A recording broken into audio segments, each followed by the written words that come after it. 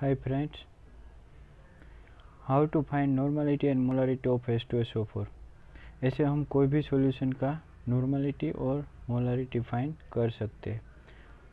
तो हम उसको एग्जांपल थ्रू देखेंगे। Concentration S two S O four है 98 परसेंट सोल्यूशन है उसका। It means 980 L of H2SO4 is per thousand M L of concentration acid we can 980 of H2SO4 multiplied by S उसके S है one point eight four gram प्रति centimetre cube so nine eight zero multiply one four is equal to one two gram per mole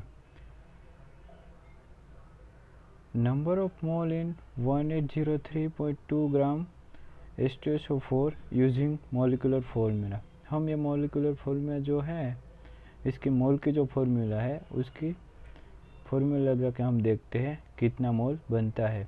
तो इसके हिसाब से number of mole is equal to given weight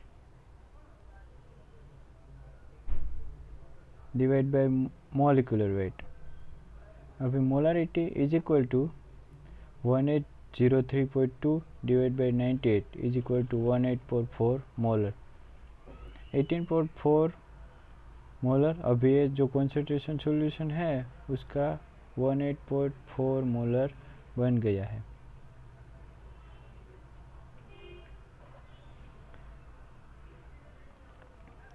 अभी molarity हमने find कर ली। अभी देखना है नॉर्मलिटी कैसे फाइंड करते हैं उसकी स्टेसो फोर की, जो 98 परसेंट दिया गया है उसकी। Normality of S two S O four and S two S O four का जो मोलिकुलर वेट है वो 98 ग्राम पर मोल है। अभी उसको हम, हमको ये क्या है नॉर्मलिटी डिफाइन करनी है तो उसका एसी एसिडिटी और बेजिसिटी ढूंढना पड़ेगा। तो उसका एसिडिटी और बेजिसिटी क्या है वो हम देखते हैं। तो S two S O four है, उसका एस प्लस आयन मतलब एसिडिक है तो एस प्लस आयन टू है। इसके हिसाब से number of mole S plus and O S negative तो उसका जो रिप्लेस आयन होता है, वो टू होता है S two S O four का। S two S O four replace ion is equal to two gram of equivalent weight is equal to molecular weight divide number of replacement ion ये इसके formula है, जो normality find करते हैं उसकी। उसमें क्या एसिडिटी और बेजिसिटी क्या है? उसके हिसाब से उसको फाइंड करते हैं। तो gram of equivalent weight is equal to 98 divide by two is equal to 49 gram per mole. मोरमालिटी normality is equal to molarity cross 2 1844 cross two is equal to 36.8 normal. ऐसे नॉर्मालिटी भी हमने फाइन कर ली।